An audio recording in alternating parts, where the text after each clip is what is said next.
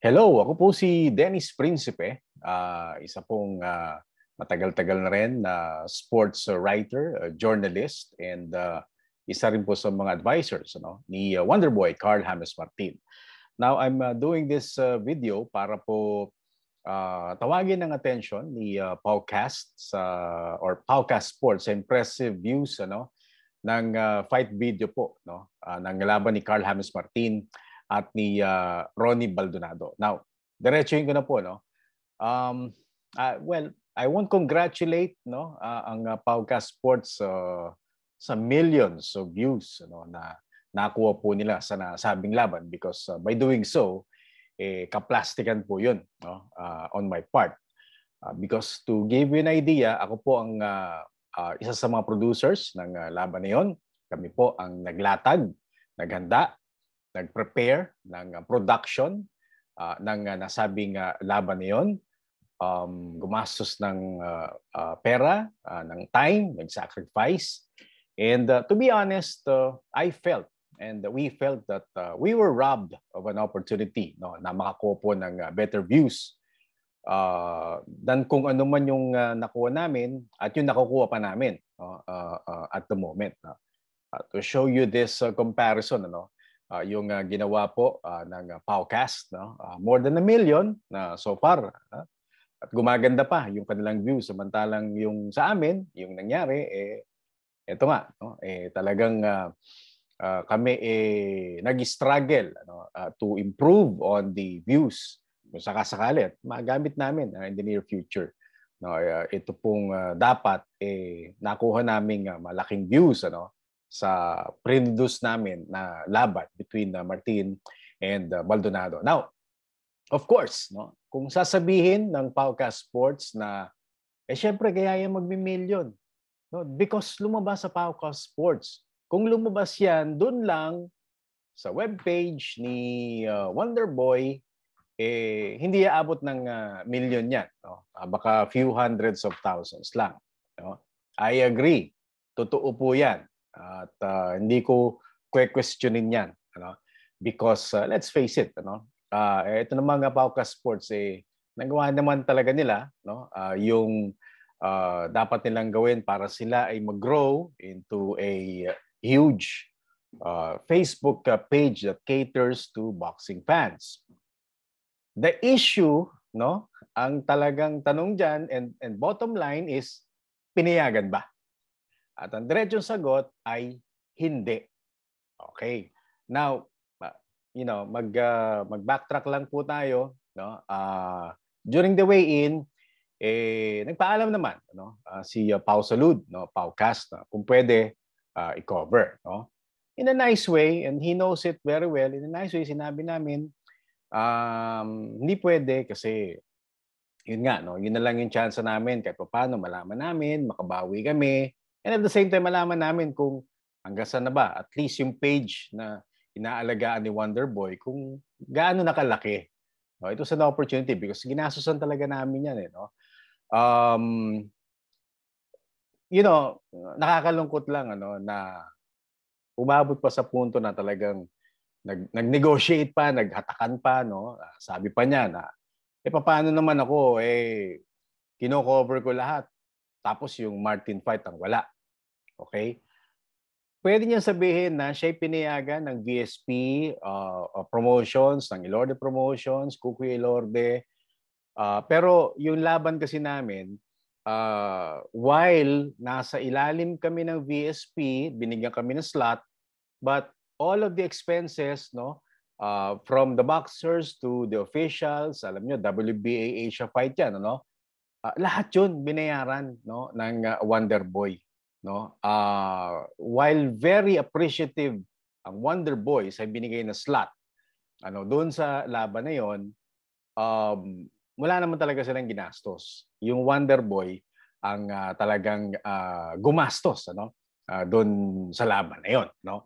So nakakalungkot lang ano na parang mas importante pa pala sa kanila yung sasabihin ng viewers nila kaysa yung sasabihin namin na totally eh may right doon sa laban na yun. Kami ang may-ari, kami ang gumastos.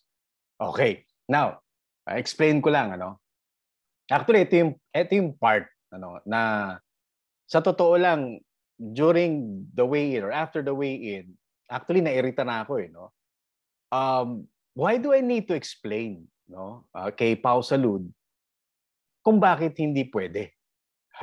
okay. Um, you know, nung sinabi ko na, alam mo, masos kami, uh, kailangan naming makabawi, no? Ang balik sa akin is that, alam mo mga vloggers gumagastos din. Gumagastos din sila. So parang, okay, um, hindi pa sapat sa iyo yun. Ah, sinabi ko na kailangan namin yung fight para, yun nga, uh, for the most part, makabawi naman kahit papano. No? So, eto, papakita ko sa iyo yung uh, mga ginastos uh, dun sa laban niyon. Because, you know, yung sagot mo sa akin, uh, reeks of arrogance. Ano? Um, para sabihin na, teka muna, ha? huwag mo sasabihin sa akin may gastos kayo. Dahil ang vloggers gumagastos din. Fine. Okay? Ito, isa-isahin ko sa yung ginastos ng Wonder Boy. Alam mo, marami dyan. Hindi pa namin, hindi ko pa ma-recall. Kung meron, alam mo na, syempre may mga gastusin din na, sige lang, labas ka lang labas. Kala mo, 1,000, 2,000, 3,000, maliit lang yan. Pero uh, hindi mo alam, lumalaki, hindi mo na itatali, pero okay lang. No? Ito, isa-isayin natin. Ano? Premyo ni Carl Hammonds Martin, 100,000. Uh, yung kanyang uh, ginamit na food and vitamins for uh, two months of preparation, umabot ng 70,000. Ano lang ito, ha, more or less. Huwag nating uh, ilagay ng detalye no, yung every centavo kasi magugulo lang tayo sa um, uh, computation. Pero nandyan yan. Ah, hindi nalalayo dyan. Kadalasan dyan, mas mababa pa. Okay. Premyo ni Ronnie Baldonado, 70,000. Production cost, 110,000. Primer cost, no? ito yung uh, the day or two days before the fight, ako as producer, gumawa ako ng primer, nag-produce ako, bumiyahe ako ng La Union, pinuntahan ko si Baldonado, you can ask yung kanyang uh, uh, nag-ampon doon na si Art Moniz na dumating ako ng gabi. After the interview, pinakain pa ako ni Art Moniz. Maraming maraming salamat sa mag-asawang Mr. and Mrs. Art Moniz. Maraming salamat. Uh, pero dumating ako mga 7, 8 p.m. Umalis ako 9. No? Mabilisan eh. No? Uh, so imagine na lang yung gastos mo from Quezon City to Bangar La Union. Ano? Uh, NLEX, SLEX, DPLEX, whatever. Okay. And yung time, syempre, yung time na ginugol ko, yung sasakyan kong ginamit. Okay? TV airtime, no? We paid airtime sa Solar Sports so in the hopes na makabawi. Uh, three airtimes ang nakalagay dyan no? para, yun nga, kahit pa paano makabawi. But uh, obviously, mahihirapan na mabawi.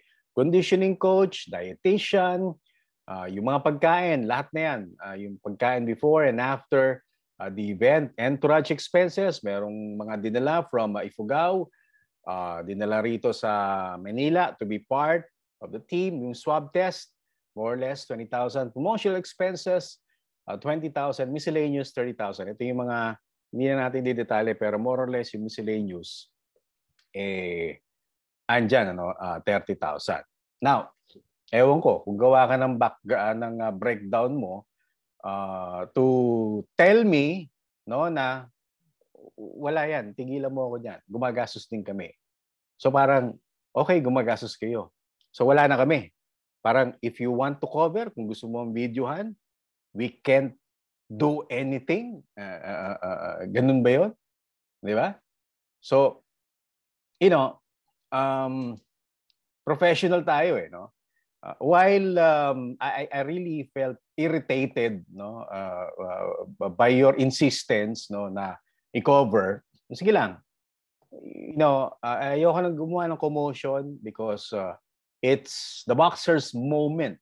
Moment yan ni Martin ni Baldonado ni Charles Suarez ni Manggubat uh, ni Ligas ayoko nang kahit konti pakaagaw ng attention sa kanila dahil ang isang boxing event, moment yan ng mga boxers. Okay. Pilit ka pa din. Ano, sabi mo, sige, hindi ko bibidyohan yan. Pero pagbawalan niyo rin yung mga tao dun sa venue. Um, are you telling me, or parang, ikaw pa ang ikaw pa ang uh, uh, magse-set ng standard. Ganun ba 'yon? Parang um ikaw pa magse-set ng condition. Parang Sige, hindi ko cover pero nautusan pa kami. Pagsabihan niyo isa-isa yung mga tao doon na huwag mag-video. Okay? Yun na nga eh, di ba? Parang, ah, ganun ba, sir? Um, so, kailangan pala namin, may gawin pa kami just to please you. Just to uh, convince you na, boss, wag na muna, sa amin na muna to. Hindi, kailangan pagsabihin yung mga tao.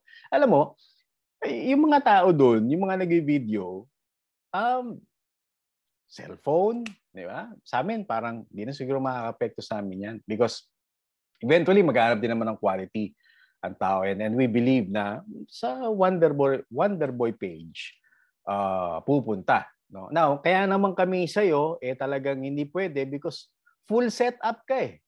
Di ba? You have your uh, cameras, you have your headset, audio, video, uh, meron kang console and everything. Talagang full production setup. And that we cannot allow. Okay? So, Okay, ano ba naging kasunduan? No? Ang naging kasunduan is um, babalik ta rin mo na lang yung iyong uh, uh, video, no? audio na lang. Sige, bumayag na kami. Pero you still covered. You still covered the fight. The following day, you uploaded it without asking permission, without informing us, without telling us na upload ko to ha. Bahala na kayo dyan. Wala eh. Buti sana kung may ganon. No? So you went on with uploading your video until yun nga, sa'yo na napunta lahat ng uh, views, kami na naghirap, nakita mo naman yung ginastos namin and uh, behind all the expenses na pinakita ko sa'yo are the legwork, the sacrifices, uh, the the yung yung physical uh, exhaustion, no? Mental exhaustion na, na na na-feel namin because part kami, hindi ka naman part, di ba? Pero ikaw ang lahat ng kumuha. Ano? Uh, hindi ko alam, nakakatawa ba? Nakakainis din. Ano, na lately, nakita ko sa Facebook mo, you were ranting about people um, stealing uh, your videos. No? Parang, okay, gano'n naman pala. Um, nasasaktan ka rin naman pala. Or, di ba nasasaktan? Siguro, alam mo rin na palang mali. Di ba? So, the irony of it is that you did it to us. ano? Uh, we did not allow you and you went on uh, with your uploading ng entire fight ni Carl James Martin at ni uh, Ronnie Baldonado. So, ayun lang. Nakakatawa lang yung irony na ikaw eh nagagalit. Ewan ko, hindi mo siguro nagagalit. Mabait ka naman na tao you want to warn people no about mali ang ginagawa nila. Uh, so tignan natin yung ginawa mo sa amin, tama ba? No? Eh sa amin diretsahan, mali. Because again, hindi ka pinayagan uh, nakiusap ka, nakiusap din kami, and explain namin yung side namin, please no no videos and you went on with uh, the uploading of uh, the video. Damage done wala nga thank you eh. No? Sana man lang may thank you. Tinawagan ko yung buong team. Ano, may tinawagan ba sa inyo? May nag-congratulate ba? Uh, sana man lang uh, Paconsuelo de Bobo gumawa ng video. Congratulations, Carl James Martin, the new WBA Asia Super Bantamweight Champion. Salamat, Wonder Boy. Wala lang. Di ba? Move on. And while nagre-rake yung iyong video na supposedly sa amin, which To tell you frankly, alam ko naman yan, gagamitin mo rin naman yan sa mga future uh, proposals mo, no? Showing people na ito ako, uh, this is Paucast, no? Millions, million. Yung iba mong ginawa, wala tayong problema ron. But, you know, yung sa amin, magagamit mo kung gagamitin mo. Do you owe us an apology? Maybe. But uh, it's it apology is something that hindi na namin hihingin sa iyo. No? Sa amin lang is for you to put it down i-delete mo, tanggalin mo sa page mo. Okay? Hindi ko na explain kung bakit. Uh, I've said my piece. Okay? If hindi mo tatanggalin, hindi naman kami magrereklamo, hindi kami magdedemanda, hindi kami mag-strike. If you do not put down that video, It's your strong message to us. Hindi mo i-delete yan. Dinig na dinig namin na sinasabi mo sa amin na hindi ko didelete yan dahil wala kayong pakialam sa akin kung ano ang gusto ko sa boxer ninyo. Bibidyohan ko yan. Laban, training, kung magpunta ng mall, kung magpunta ng probinsya, sumakay ng bus. Ha? Paucast ako. Ha? Pinatunayan ko sa inyo no, na pinigilan niyo ako, hindi ko sinunod no, yung kagustuhan ninyo na wag akong mag-video. That's your strong message. As long as that video continues to play on your social media accounts, that is your strong message to us na ako ang magko-control ng video ninyo. Wala kayong magagawa sa akin, kaya gumasos kayo ng milyon, magsasabi ako sa inyo, pero kung sabihin nyo ako na wag, gagawin ko pa rin. So that's your strong message to us when you did that. I heard that. No? Na nung in-upload mo, I can imagine you, no? Uh, na lalo na kapag ka nung umabot na ng million, di ba? Um, I can hear you laughing and uh, at the back of your mind telling us na walang nagawa yung Wonder Boy. Kaya gumasos sila, kanila man yung laban na yon, di ba? That's your message to us. So the message is loud and clear so far. So it's all up to you, my friend. If you continue to play that video, okay, it's your choice. We respect that. Okay? But uh, tingnan na lang natin kung ano sasabihin ng team sa'yo at ng, ng mga tao now that everyone knows that you were not allowed by the rights owners themselves, in this case, a Wonder Boy, you were not allowed to video, to shoot that fight, much more upload, but you still did. Thank you very much, Pauka Sports. Good luck sa iyong mga future projects.